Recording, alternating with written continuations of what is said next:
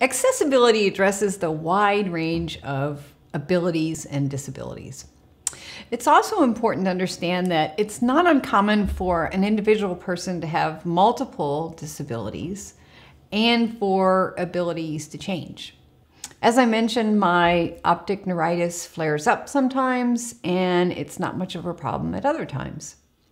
When it is acting up, I can't read normal size text and I need to increase the text size and the line spacing. It's also important to understand the wide range of abilities within a category. For example, visual disabilities includes the wide range from people who are totally blind to different types of low vision. You'll learn more about that later on in this course. For now, let's do an activity to illustrate that. I have two pages here. Version one is 11 point text with 1.15 line spacing and the par paragraph width is about 40 characters. It takes up about 10% of a sheet of paper, so just a little bit.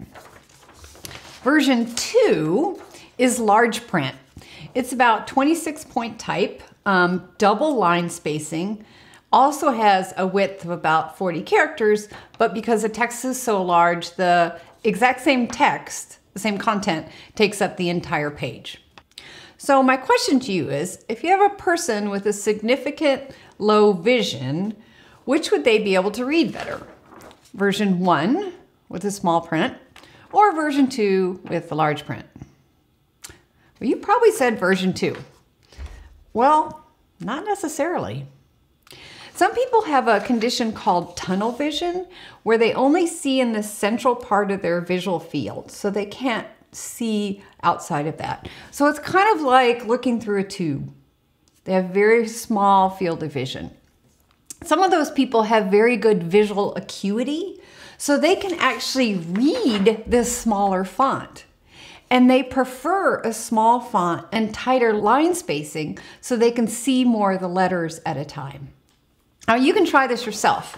You can download the pages from this course and get a small tube, um, even a straw, and hold it inside your hand like this. Don't let it stick out so you don't poke yourself in the eye. And just try it and read through the straw and see how much easier it is if you have good visual acuity to read the smaller text than it does to read the big text.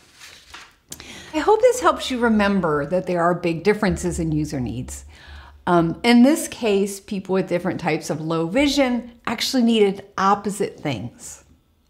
And accessibility is all about supporting that flexibility for different user needs.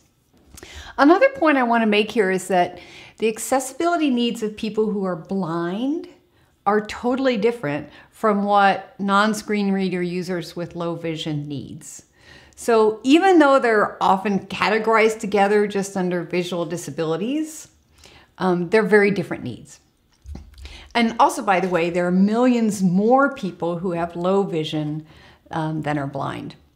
And you'll learn more about this in later modules.